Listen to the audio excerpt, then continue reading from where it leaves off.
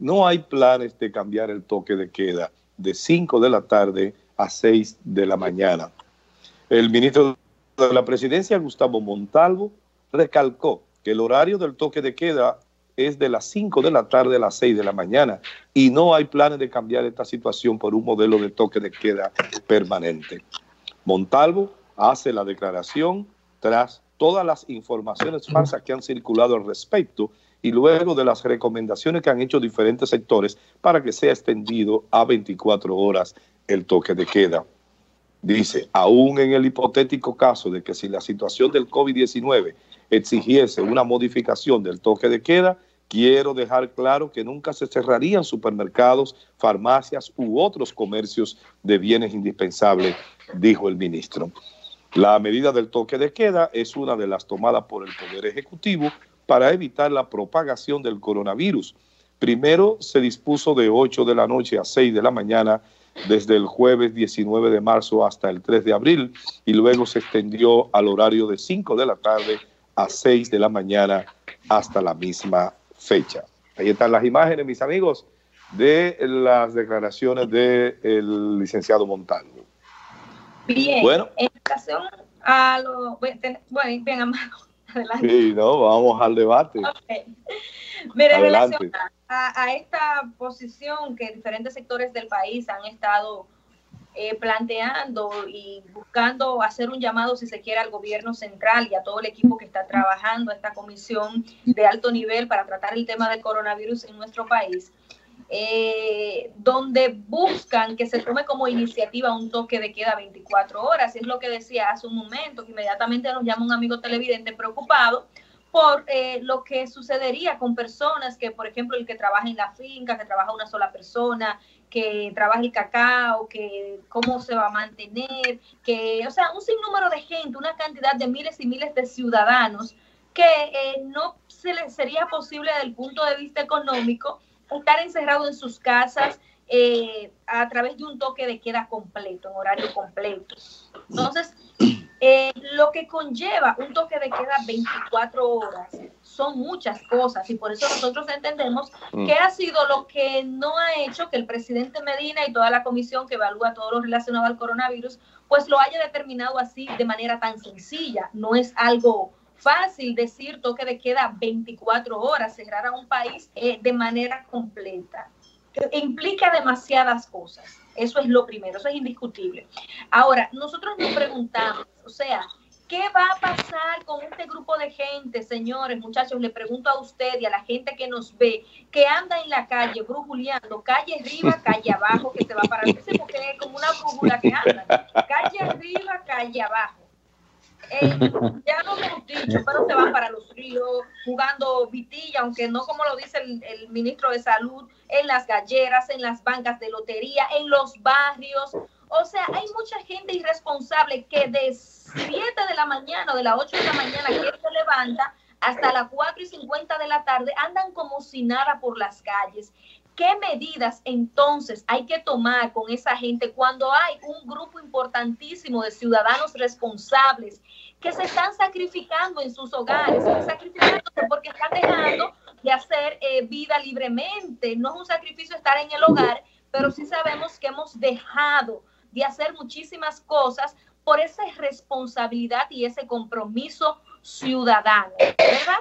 Entonces, tenemos a otro grupo de responsables que en esos horarios abiertos están en las calles. Se está perjudicando a un sector importantísimo de la población que está cumpliendo las normas y a una inmensa cantidad de profesionales, a un Estado, a un país que está haciendo lo propio para resolver esta situación, pero hay gente que no colabora con esto, hay gente que no hace lo que tiene que hacer de quedarse en sus hogares. Muchos de esos muchachos no es trabajando que andan en las calles, porque sabemos que propiamente el, el comercio está prohibido. Algunos sí se la buscan, que el motoconcho que si sale y encuentra a alguien, pues lo monta, porque ese es su modo de supervivencia y no movilidad de hambre.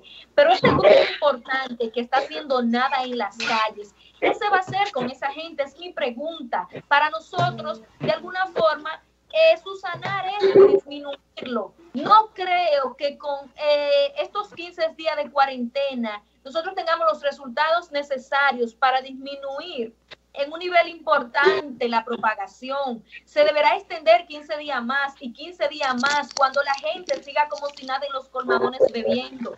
Entonces, cierro diciendo, ¿qué vamos a hacer? ¿Qué vamos a hacer con ese grupo de gente? ¿Seguiremos tres meses, dos meses, cuatro meses en cuarentena? Mientras un grupo anda por... Bueno, Carolina. Bueno, Carolina, lo que tú puedes casi segura es que se va a extender 15 eh, días más el proceso de cuarentena. 24 horas no lo aguanta el pueblo dominicano.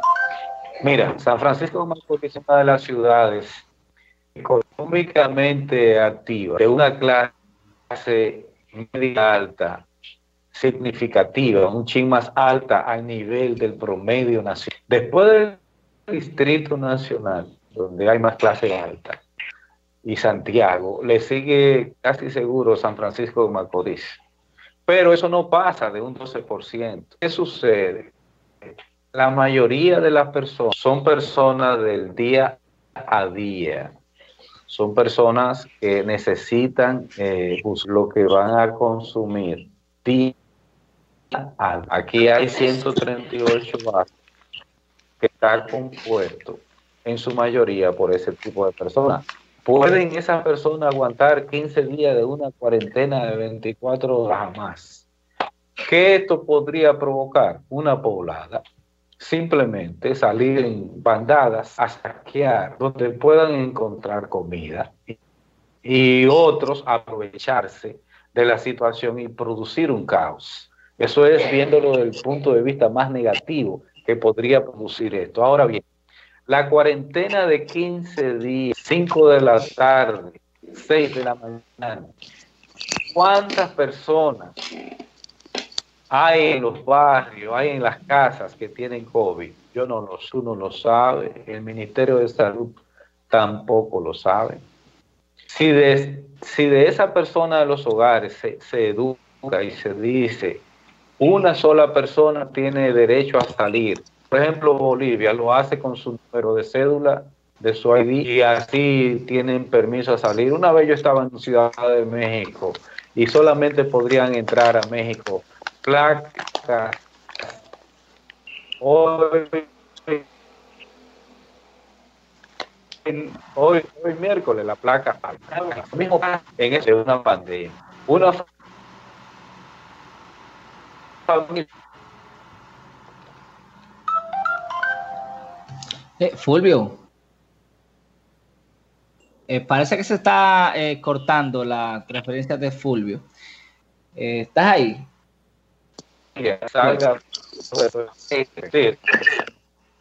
Hay, hay que agregarle hay más medidas para que puedan surtar efectos.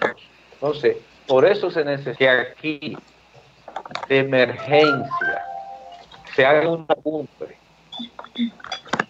organismo del Estado, dirigido por el Ministerio de... Bueno, parece que se le está frizando a, Fulvio. Miren, a propósito eh, de eso, ojalá eh, José allá en el máster me coloque unas imágenes que le acabamos de enviar ahora de, de unos ciudadanos en un sector, no puedo decir dónde, que están afuera bochinchando, porque hay que decirle así en buen dominicano, están afuera. Fue en Santiago, no sé si el video también que yo lo reenvié porque me lo mandaron, un grupo de ciudadanos que le llega a la policía. Ajá. En Santiago fue. Eh, ojalá lo pueda poner allá, eh, eh, que no están cumpliendo, o sea, ellos están en el frente, ellos están en el frente de sus casas, un corito ahí, y viene y pasa la policía y ellos salen corriendo e inmediatamente pasa la patrulla eh, mixta, ellos vuelven y salen, porque es una cuestión también de responsabilidad ciudadana. Tendríamos nosotros que meter a, esa cantidad de gente preso. ¿Saben cuántos presos van ya en los toques de queda? Casi 20 mil. Casi 20 mil presos ya en los diferentes toques de queda. Porque la, la gente no ha entendido la magnitud de esta situación lamentablemente. Y hay gente que usted ve que, no le importa nada, que incluso quiero hacer un llamado al alcalde de San Francisco de Macorís. Atención, alcalde de San Francisco de Macorís. Ese, ese, es uno de los videos.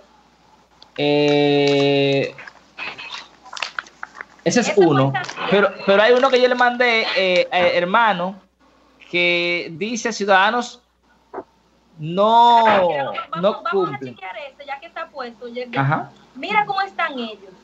Bebiendo, jugando dominó, Dios mío. Por eso es que yo digo que hay que, que hay que ser más severo, más agresivo con las sanciones. Eh, entonces, miren, con relación a esto, yo quiero hacer un llamado al alcalde de San Francisco de Macorís y a la persona que nos está llamando, que, nos tenemos un momentito.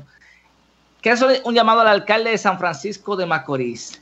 El mercado municipal, vemos ahí que no están tomando ningún tipo de... Ah, míralo ahí, míralo aquí, eh, eh, el video, antes de decir. Dale para atrás, hermano, para que la gente vea cómo hay en el frente de esa casa. Miren ese grupo, como está sentado, ellos están ahí bochinchando normal, estamos en chercha, viene la policía y salimos corriendo. Hey, viene la nos vamos corriendo y entonces inmediatamente pasa la patrulla, hay que salir de nuevo porque eh, la fiesta sigue. Entonces tendríamos nosotros que poner un policía en cada casa. Un policía en cada casa porque a la gente se le ha pedido, incluso el presidente lo dijo, por favor, no salga de tu casa, quédate en tu casa, no se junten, vamos a, vamos a procurar el distanciamiento social. Ah, no, pero la mayoría, o sea, no la mayoría, sino una gran cantidad de gente está haciendo caso omiso a eso. ¿Y qué podemos, qué se puede hacer? Meterlo preso a todos. Van casi 20 mil ya en los, en los, en, gente que, que apresan en los toques de queda. Porque, caramba, caramba. Y quiero hacer el llamado ahora al alcalde de San Francisco de Macorís. Señor alcalde, si usted está contagiado del coronavirus, si usted no puede dirigir el ayuntamiento, deje que su vicealcaldesa, aunque usted no quiera, asuma la posición. Deje que ella lo asuma. Porque el mercado de San Francisco de Macorís no hay una estrategia con relación a esto. Y quiero eh, darle este consejo a, a nuestro amigo Alex. Si tú puedes dirigir de tu casa, bueno, pues está bien pero trata de dividir a esos eh, mercaderes para que no vayan todos el mismo día. Por ejemplo, divídelo a la mitad o divídelo en tres. Que por ejemplo el lunes vaya a una parte, que el martes vaya a otra parte y que el miércoles vaya a otra parte. Pero no todos, porque hay los niveles de contaminación que hay en el mercado de San Francisco de Macorís, que no es de ahora, sino que este siempre, va a provocar un aumento en el contagio no sabemos quién va a ir contagiado, no sabemos si hay gente trabajando y vendiendo que está contagiado. Así que por favor, vamos a ponerle atención a esa parte. Si tenemos que cerrarlo, bueno, pues cerrémoslo. Pero en el caso hipotético de que no se pueda, que un grupo trabaje el lunes y que, el grupo del lunes ya no trabaje más, sino que eh, otro grupo trabaje el martes y entonces el otro grupo trabaje el, el, miércoles. Y lo podemos dividir por días, de grupo, que sé yo, de 30, de 40, no sé, porque se supone que debe haber un censo de ese lugar ahí. Entonces, ese es mi consejo. Por favor, al alcalde de San Francisco de Macorís, hay que intervenir el, el, mercado de San Francisco de Macorís y evitar ese eh, eh, conglomerado de gente que está yendo allá a comprar en condiciones de insalubridad. Mira, quiero en ese sentido, con el tema de la alcaldía y Fulvio, eh, podrías aportar en este sentido. O sea, hemos visto muy pocas medidas eh, que se han estado tomando en San Francisco de Macorís, más allá de fumigar la ciudad, que vimos a, un equipo de gente, no sé si del ayuntamiento, pero sí vimos eh, a un sector que está, ha estado fumigando la ciudad. Hemos visto mm, bueno, a través del alcalde de Santiago, de, Porque no hay otra forma. de La Vega, tomando mantente en línea para cuando ella termine para buscar disminuir el impacto del coronavirus en sus pueblos. San Francisco de Macorís, las condiciones que tiene en este momento, okay, mantente en línea, no te sabemos cuáles. Y hemos visto de alguna forma eh, mucha timidez desde la alcaldía. No sabemos si hay alguna situación de salud, el alcalde no se ha pronunciado, no, no han hecho nada de manera formal, pero o sea, no se está haciendo lo que amerita en este momento el pueblo de San Francisco de Macorís, en lo que tiene que ver con el accionar de una alcaldía, de un gobierno local, Fulvio. ¿Qué está pasando con el ayuntamiento? Lo sentimos tímido. no se han pronunciado de manera firme, contundente, en acciones con la situación de la ciudad. Quiero escucharte. bueno, antes de, antes de,